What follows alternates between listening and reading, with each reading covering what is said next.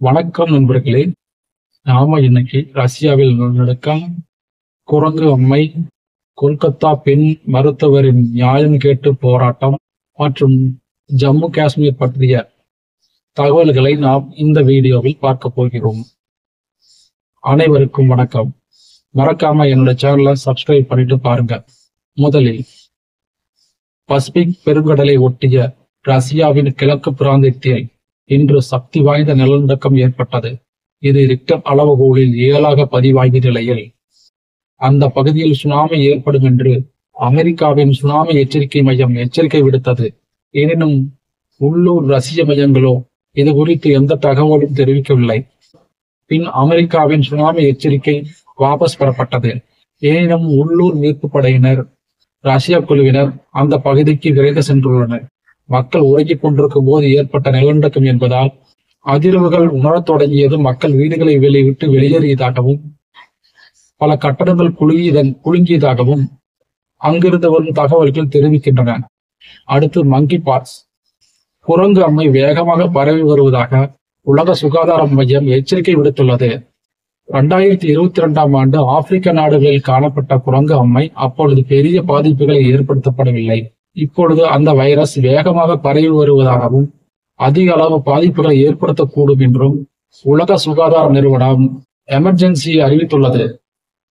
Corona தொற்றிலிருந்து உலகம் மீளாத நிலையில் கொரோனா தொற்றினால் பல உயிரிழப்பு இழப்புகளும் பொருளாதார சரிவுகளும் ஏற்பட்ட நிலையில் அதிலிருந்தே இன்னும் மீள முடியாமல் உலகம் தள்ளாடி கொண்டிருக்கும் வேளையில் இதுவரை இந்த வைரசுக்கு நூறுக்கும் மேற்பட்ட நாடுகளில் பரவி உள்ளதாகவும் ஆப்பிரிக்காவில் காங்கோவில் மட்டும் அதிகமாக பரவி இருப்பதாகவும் ஐநூறுக்கும் மேற்பட்டோர் உயிரிழந்துள்ளதாகவும் உலக நாடுகள் எச்சரிக்கையுடன் இருக்கும்படியும் இந்த நோயின் அறிகுறிகள் சாதாரண காய்ச்சலுக்கு வருவது போன்று வரும் என்றும் தோள்கள் சிவப்பு நிறமாகவும் வட்ட வடிவில் இருக்கும் என்றும் தெரிவிக்கப்பட்டுள்ளது.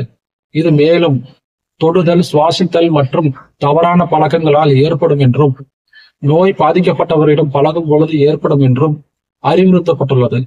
இந்தியாவும் எச்சரிக்கையுடன் இருக்கும்படி உலக சுகாதார நிறுவனம் எச்சரிக்கை விடுத்தப்பட்டு விடுக்கப்பட்டுள்ளது. அடுத்ததாக கொல்கத்தா பெண் டாக்டர் மரண விவகாரம்.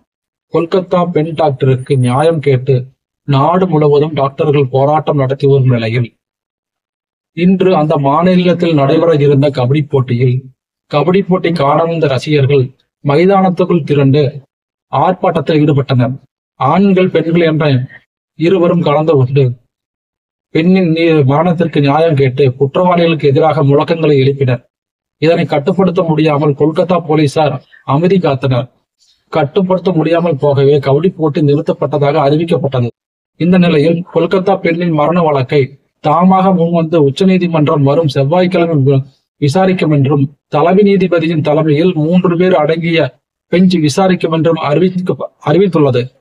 அடுத்து ஜம்மு காஷ்மீரின் சட்டசபை தேர்தல் ஏற்கனவே அறிவிக்கப்பட்ட நிலையில் அந்த மாநிலத்தின் க தேசிய கட்சி தலைவர் உமர் அப்துல்லா இன்று சட்டசபை தேர்தல் முடிந்து ஜம்மு காஷ்மீரில் முதல் சட்டமன்றம் நடைபெறும் பொழுது முதல் தீர்மானமாக சட்டப்பிரிவு முன்னூத்தி எழுபதை நீக்கியதற்கு எதிரான தீர்மானமாக இருக்கும் என்றும் அறிவித்துள்ளார். ஏற்கனவே தேர்தல் ஆணையம் செப்டம்பர் பதினெட்டு செப்டம்பர் இருபத்தஞ்சு அக்டோபர் ஒன்றாம் தேதி என மூன்று கட்டமாக ஜம்மு காஷ்மீரில் தேர்தல் நடைபெறும் என ஏற்கனவே அறிவிக்கப்பட்டுள்ளது. ஜம்மு காஷ்மீரில் தொண்ணூறு உறுப்பினர்களை கொண்ட சட்டசபை உள்ளது. நண்பர்களே நம்ம வீடியோ பருத்தின உங்க கருத்துக்களை கமெண்ட்ல சொல்லுங்க. மறக்காம நம்ம சேனலை சப்ஸ்கிரைப் பண்ணிட்டு பாருங்க. நன்றி வணக்கம்.